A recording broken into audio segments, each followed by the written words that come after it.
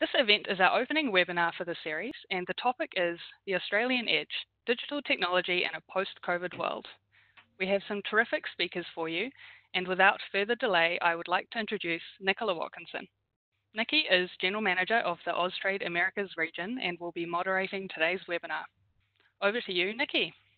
Thanks very much, Emma, and it's fantastic to be with everybody today. Uh, so thank you very much for joining us. Um, I belong to an organization called Austrade, and it's an amazing uh, organization that does two really important things. One is it helps US companies to expand and grow in Australia. And the second thing we do is to help Australian companies to expand and grow in the US. And we have a very strong focus on the tech sector.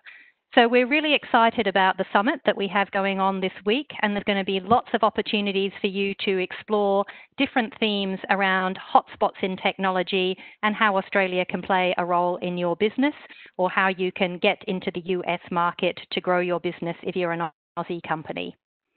So to start the session, we have two amazing speakers who don't really need any introduction. Uh, the first of them is Bill Tai. Uh, Bill is a venture capital investor. He is very well known around uh, the US uh, and has made some very successful investments, which I hope he will share a few secrets on. And in addition to that, he's also the adjunct professor of innovation and economic development at Curtin University in Australia. And the second person we have on our panel today is Chris Eigeland. He's uh, the co-founder and the Chief Revenue Officer of Go1, one of Australia's star uh, performers at the moment um, in the scale-up stage. We've got about 20 minutes for some for a bit of a Q&A with the panel, and then we're going to open it up for some Q&A uh, from the audience as well. So I'm just going to jump straight in. And Bill, uh, my first question is for you. I think um, truth be told, what originally took you to Australia and to Perth was actually not the burgeoning ecosystem for entrepreneurship. It was actually um, uh, the, uh, the, kite surfing. Um, so I'd love to learn a little bit more about that. And I also heard this story that uh, one of the founders who really wanted to get to you actually took up kite surfing so they could get to meet you and pitch their business. Is that true?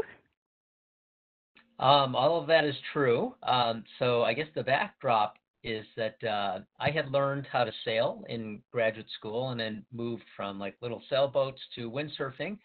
And I had a company that I founded in the mid 90s that was a uh, started as an ISP and it became a data center operator in 10 countries throughout Asia. Um, list on NASDAQ through Goldman Sachs and Morgan Stanley. And I decided that if it went public, that I would uh, windsurf around the world and basically not, you know, like in one continuous thing, but stop in a bunch of places and have fun. And on that list of destinations was Margaret River in Perth, Australia. And it was so far away because it's literally on the other side of the planet from me. I just never had an opportunity to go. And one day, a gentleman well known to the Australian community, Larry Lopez, called me and said that uh, he needed a keynote speaker for a conference that he was putting together with Curtin called Univation, and that if I agreed to come out and do a one-hour keynote, that they would cover my flights and I could go windsurf, kitesurf for a week. And that's what I did. And so on that trip, um, I met Melanie Perkins, who pitched to me what would ultimately become Canva that's a fantastic story, and it really shows how determined some uh, some you know good founders are to to get in front of the right people. But look, you've stayed in uh, connected with Perth ever since, um, and you've made a number of investments in Australia. What is it that keeps you investing in Australia? What what is some of the sort of secret sauce that you found there? Well, you know, I think one thing that most people don't know is that um, very prominent companies like Apple will actually test some of their products in Australia and New Zealand before they launch them in the United States, because the uh, the you know use case is similar, the behavior is similar, the GDP per capita is similar, so they find it a good contained market around which to try things out. And over the course of my trips, which started really kind of around, I think it must have been around 2010, 2011, there was a sea change in the type of technology companies that were available to invest in. Uh, prior to the mid 90s, almost everything was hardcore technology, selling to other technology companies in semiconductors and network equipment. And as the business moved towards the user interface layer, you could have kids like Mark Zuckerberg at the time start a business in a dorm room.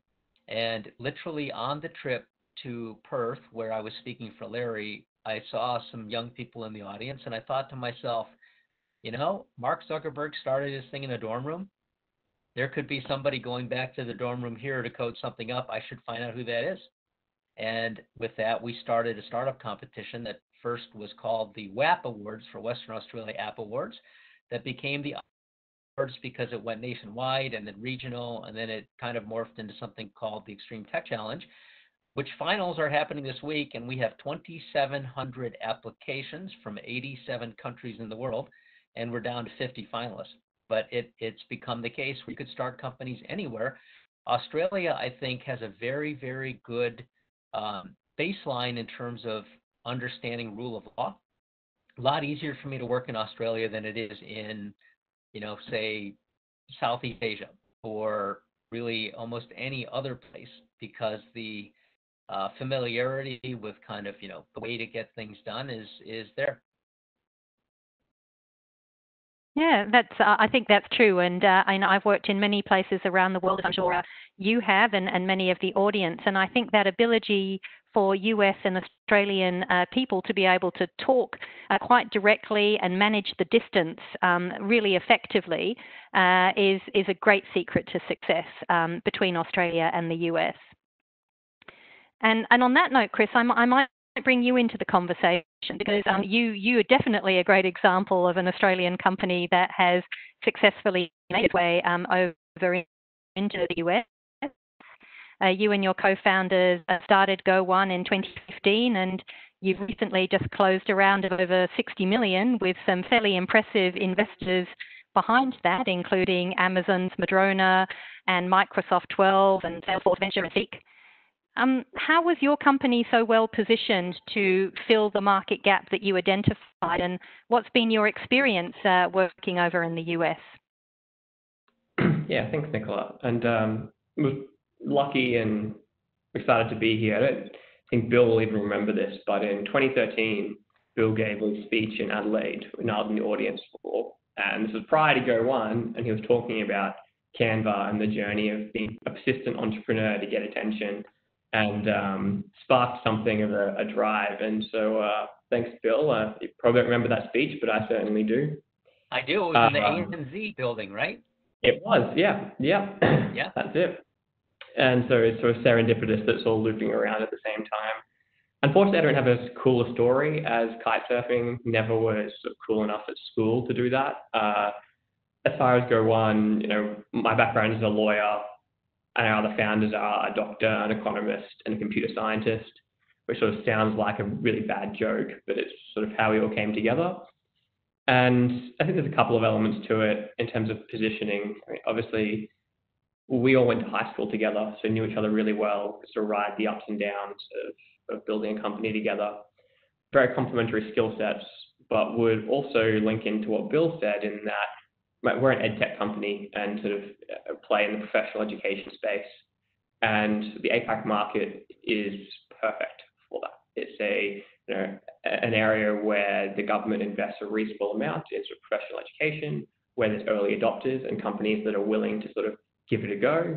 And really, that's how we got started. Was actually there was a procurement person, which you rarely hear positive things about human people but a procurement person in the Queensland government who decided to give us our first sort of six-figure contract. And that sort of catalyzed our enterprise sales channel from there, and it sort of started along. So it's a combination of, I think, having access to really great people who are really humble and just want to get the job done, hardworking or work ethic, a great environment of the sort of economy and the sort of the ecosystem that's growing, and then also the sort of have a go Australians backing Aussies mentality that I think just means it's a good good place to start to try something new. Yeah, thank you for that. And I might pick up on one of those points because I think some things that people don't know so much about Australia is just how multicultural and diverse Australia actually is. About 40% of our population was either born overseas or has at least one parent who was born overseas. Uh, and that means we have an incredible kind of um, diversity and, and, very strongly positioned uh, with those networks into the Asia Pacific region. Uh, and I know that that's something that, that you certainly played uh, around with, and you've also got operations, I believe, in Vietnam. So, how does it work for you, Australia, as a sort of a regional head office that looks after the Yeah, I mean, I'd like to say that it was all preordained and perfectly planned in in the process. Um, one of our co-founders is is Vietnamese, and so one of our earlier moves was to incorporate a company in in Vietnam and to to build out a team there, um, due to primarily due to competitors uh, competition access to talent, so that we could get some really talented people um, er, very early on. But you know, going so two years ago, when we're you know about two and a half years old, about 30% of our revenue, 40% of our revenue was international, and it wasn't international from the US or the UK at that point. It was international from Malaysia, from Singapore. Uh, we had a sort of significant amount of revenue coming in from Singapore and Malaysia in particular, but also Vietnam and sort of Hong Kong. And that was a really, um, I think, unique testing ground for our offering so that when we did choose to move to the US about a year, a, half, a year and a half ago, we'd already proven out our product, our sort of go-to-market strategies, and ultimately demonstrated that we can scale in different regions, um, which was just a really strong foundation to jump into the US market. Yeah, thank you, because I think it's not enough in its but a great leaping off other neighbouring markets, which may be less familiar uh, to, to some of the US uh, businesses that are looking at expansion opportunities.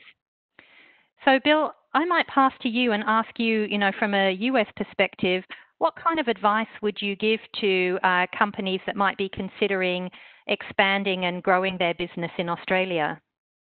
You know, it's a. I think it's a great place for for uh, for me personally. Obviously, it's really easy for me to transition. You know, the the travel is one thing, but you know, once I land, actually, you know, I have to say it's easier for me to adjust flying to Australia than it is to Europe. And why is that? It's a really, really long flight, so it forces me to sleep almost eight to ten hours, depending on you know how many flights I take where if I go the other way, it's like I can only sleep five or six hours and I feel terrible the next day.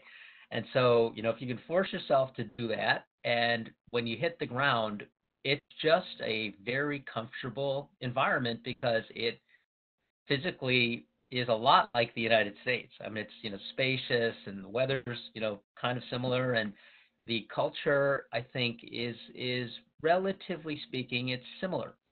You know, so I'd say in terms of uh, uh, understanding, you know, people run into problems expanding their businesses to other markets when they don't have a common baseline for understanding the people that are driving their offices. And I think uh, Australia, it's quite, it's a lot easier to, to have a common understanding. I might just ask um, Chris in the meantime you know, we've seen obviously COVID has, has occupied our minds um, a lot over the last few months. Um, how do you think the tech sector has responded? And are there any standout leaders that, that you have really been following during this period? yeah, it's been a, a roller coaster. And I think you know, anyone that has been running a startup or building a startup or running a large technology company through this process um, don't know if we'll, we'll want to sort of repeat the experiences of the roller coaster of the past, past three or four months. But I'm also really encouraged and proud of, of how multiple organizations have responded. I mean, from a Go1 perspective, we're really lucky that we can, we're in an industry in, in professional education, which means we can help support people through the transition. And so we released a number of free training programs in conjunction with the Singaporean government and the Australian government and Seattle government that helped people in the transition to remote work and provided special education opportunities when they might be furloughed in the UK or something like that. But I think for me, there's like three categories of organization that I've been really most proud of. One's a really local one. And so, you know, you see local entrepreneurs. Um, my favorite gin distillery in Queensland pivoted and started producing hand sanitizer instead, which is just an amazing example of just pivoting at the last minute to not only obviously have continue the business, but to, to sort of push help push forward and support the sort of social change that was required. And then the second one, you have sort of mass communication. And I know Bill's an investor in Zoom. Um, we're a um, strong user of Zoom as a tool. And you know that tool has just enabled our whole ecosystem really. You know, usage has gone 20, 30, 40 times, and for that organization to scale that quickly, I think um, Eric and the team there have done an amazing job. And then probably the third one is um, organizations like Headspace. You know, everyone has experienced, I think, some form of anxiety or adjustment challenges in the, in the last period. And organizations like Headspace and in the mental health area, I think have done a great job of um, releasing products for free and um, supporting people through this transition. Yeah, thank you. I think, you know, seeing some of that extra behavior of companies and how they've managed to either pivot to new markets or, or reposition themselves in new segments or just adapt a product uh, from gin to hand sanitizer you know, those are great examples of, I think, you know, the real entrepreneurial spirit that exists in Australia um, and around the world. Uh, but I think it's it's something where Australians are very much known for their ability to quickly adapt to new circumstances and never let things get in the way of, of being successful. Uh, you know, so it's uh, it's one of those particular characteristics. So, um, so I don't think we've got you on visual, but I, I hope we've still got you on the line. Um, one of the questions I know people will be um, wanting to ask you is, what are some of your technology picks um, and for the coming, you know, six, 12 months? And you know, are there is there anything that's exciting you about any of the Australian technology that you've been seeing coming through?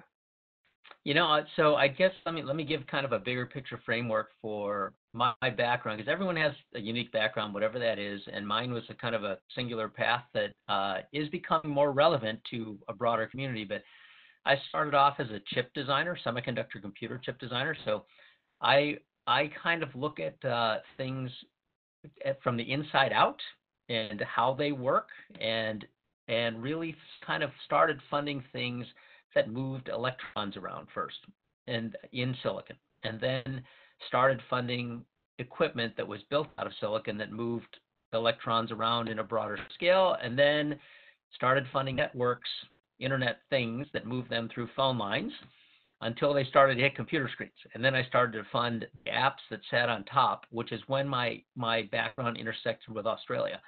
And it was literally on that trip that I described where I had just come off a period where I was funding a bunch of one person companies, designing things on the front of the web, like TweetDeck or Tango Video or other apps on phones. And that's when I started to run into people like, you know, Melanie Perkins and others that could start these web based companies. So it's kind of chips, boxes, networks, user interface. And then in that wave of user interface, I was working with companies that we're doing a little bit better job than others getting customers and keeping them by using data science and really just understanding the user engagement and how people interacted with their products. And it became clear to me that that was a very big wave. And so that's where I kind of focused today. And you see it everywhere when you think about the implications for anything from retail. And I'll use the example of companies like Walmart compared to the older generations of Sears and J.C. Penney's and Woolworths and all that stuff. They basically are able to track all of their products inside their own data cloud because they know where everything is all the time and they can see when it leaves the system on a point of sale terminal and move stuff around so they have a less uh, less cash need than their competitors and have done better. So Amazon, Walmart, they're kind of data science clouds with products on them. Uber is a data science cloud with cars on the end of it. Airbnb is a data science cloud with rooms on the end of it. And I think we're moving into this period now where everything is virtualized, where goods, value, and people are represented digitally connected to a cloud. That's where we are right now. You know, if you think about what Zoom is, and we should be using Zoom, not WebEx, we wouldn't have this video issue. You, we basically have virtualized ourselves where we can connect to where we need to be through the internet, not have to get on a plane. You know, so it's just a far more efficient way to do everything. And so I think the things that are are marginal productivity through software and through uh, kind of the app, applied data science is where things will be. And there's there's a fair amount of activity in that space. All kinds of applications. There's another company I funded, Safety Culture, which sort of has done that with uh, accident reporting. You know, kind of occupational health and safety. In America, they call it OSHA, uh, Occupational Health and Safety Administration Compliance.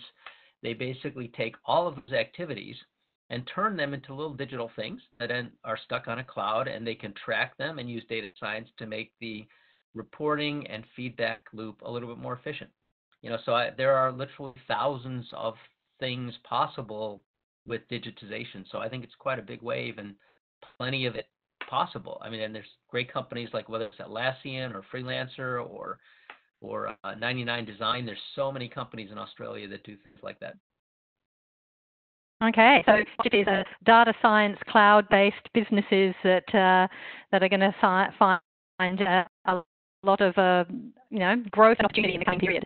Um, Chris, is there anything you'd like to add as well? Um, any of the education has uh, also gone through a fairly uh, disruptive period, but also discover that how much it can do online. Are there other areas that, that you think are going to be prospective over the next 12 months or so where, where we're seeing going to see a big uptick? Yeah, I think um, I mean, we've certainly seen it from the perspective of, of education and corporate education, but I think it's clear that everyone's professional lives have changed as a result of COVID-19. It's sort of forced the hand of organizations that perhaps never thought they would go digital to go digital and just change how we interact with each other, like like, like Bill was saying. And so I think there's going to be a whole suite of um, professional productivity companies that sort of emerge from the COVID period or were accelerated through the COVID period, which will sort of continue to change our, our, our work life.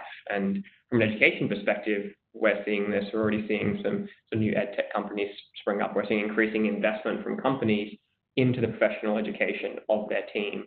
Um, and that's sort of taking place across the different productivity tools, whether it's sort of the HR tools, whether it's the communication tools, whether it's the development tools, that sort of whole work life 2.0, that's going to be, I think, a significant, um, significant point of momentum over the next 12, 24 months.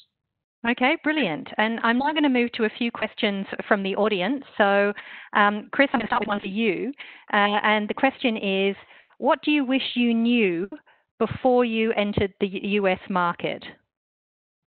It's a good question. It's actually a tough question. Um, so, I think there's a couple of really obvious answers, or they sound obvious, but actually they're really hard to get right. And so I think one is to acknowledge the cultural difference between Australia and the US. And there are lots of things about Australia and the US that are very synonymous and very compatible, but there is a cultural difference, particularly in the sales process. And that is a challenge, I think, for any team in hiring in the US and trying to bring the two teams closer together. Even to little topics around Australians are generally a little bit less direct in how they express themselves than than sort of US team members. And that is a management step that you might not think you need to sort of discuss but and work through, but it, it, it definitely is. Um, and the second is the first hire on the ground in the US is um, fundamentally important, and you should take time, seek counsel from investors to make sure that first hire is right, because that will sort of set the direction of the future. And generally when some organization enters the US, they move upstream because of the company profile. Sort of 60,000 companies in Australia, and there's more than 60,000 companies in California alone. And so an organization generally starts selling upstream into larger companies. And so you sort of need to acknowledge that and start building that into your sales motions.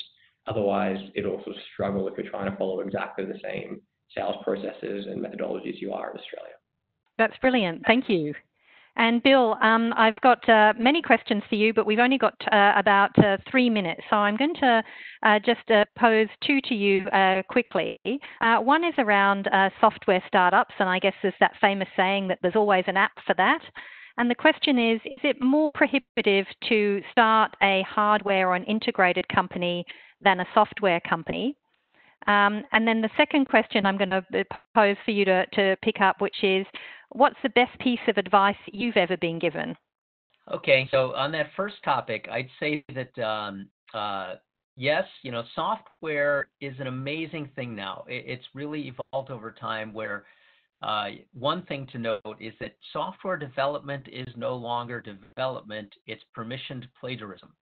And, and there's a great ability to repurpose work now where as a, as a software designer, you can go to all these open source repositories, whether it's GitHub or GitLab or a hundred other small ones, and take chunks of code and rebuild things. So there's acceleration now that was not possible before in terms of bringing things to market rapidly and testing and iterating. So I'd say the the ability to be cost effective with your capital and software is just getting better and better and better. And if you integrate hardware, there are some wonderful opportunities there that are highly defensible if you can do them, as Apple has proven with the iPhone. That said, the amount of capital you need to get to market is bigger, and the amount of time it takes to develop a product, test it, get it to market is longer. And the risk profile for where things can go wrong, you know, you buy a batch of subcomponents some don't work. Oops, you know, then you might have blown a lot of money. The the risk reward is just a different picture. So from an angel investor perspective, it's easier for me to deal with software only. I will consider hardware based businesses, but um, I look at those with a different plan because I know that they, they will require more capital over time and take a little while, while to get there. Um, the uh, let's see, and the second question was uh, I, I, forgot the second question while I was the answering best, first. The best piece of advice you've ever oh, been given. Advice. Yeah, I, you know, it's really about uh, about being efficient with your time. You know, because I'd, I'd say, and, and I'm trying to remember, I, you know, the best advice I've gotten from uh, in, about investing has always historically come from a guy named Don Valentine, who started Sequoia Capital and was on the board of the first startup I joined. And I would say, you know, he he to me was one of the most efficient thinkers. He just was didn't waste time. And I'd say I'd say it's really really important to set your priorities and stick with them and to narrow the focus at any moment of time to the couple things that matter. You know, because a lot of people can spin their wheels solving and resolving or trying to solve or solving different iterations of the same problem over and over. And in startup life, you know, I'll just make it up, but if you have a burn rate of four or five hundred K a month, two months is a million dollars. Right. So so the quicker you solve the issues and iterate to a hopeful success, and if you're wrong, you iterate again, the more time you have. I had a great, great, great CEO. I once hired the CEO of Micron, the founding CEO of Micron Technology, to a company that was in trouble. And it was amazing because we used to call him the Ever Ready Bunny on steroids. And, you know, you see that TV commercial where the Ever Ready Bunny is just kind of walking and walking and walking, and then he bumps into a wall and goes sideways, and he goes back and forth until he finds a crack. He was a guy that was able to live 10 lives in the same time period as any other CEO would live one life. So they literally had 10 times the chance of success because he could try 10 times when other people could try once. And so I think people that are quick to address the issues in front of them, recognize problems, and go and try to solve, whether or not they hit the right solution right away, doesn't matter as long as they're quick at it and do it with resolve. They, they have better outcomes. So I'd say just be super efficient with your time, focus on the right things. That's great. And, and that's a great note to, to be wrapping up on because we are now at time. Um, I hope that uh, you have enjoyed this uh, quick session. Uh, we've managed to run through some great examples of technologies um, that are out there at the moment. We've had a bit of a future forecast at some of the technologies that are going to come through. We've talked about Australia and the US and how these markets can be prospective uh, and how they can help to support business growth, and also the links for Australia into the Asia Pacific region as well. So, um, uh, nothing more for me to do except to thank Chris and to thank Bill very much for joining us for the start of this technology summit. And we look forward to having uh, many of you um, on the audience join us for other sessions uh, over the course of the week. But Bill and Chris, thank you very much, uh, and uh, we really appreciate the time you've taken to join us. Thanks, Nicola. Thank you, Thanks, Nicola. Emma. Thanks, Bill. Bye-bye. Bye, Emma. Thank you. Nice to see you again, Chris. Take care, everyone.